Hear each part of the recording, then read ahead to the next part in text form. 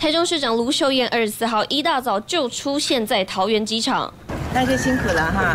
二十二号晚上十一点半，卢秀燕搭机前往美国，但是在飞机上彻夜未眠，紧盯台风变化。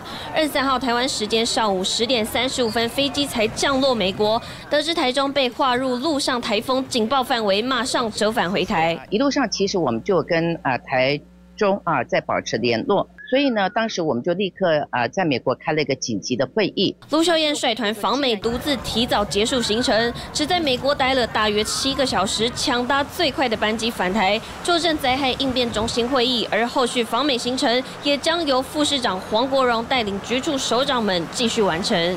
东森新闻黄启栋桃园报道。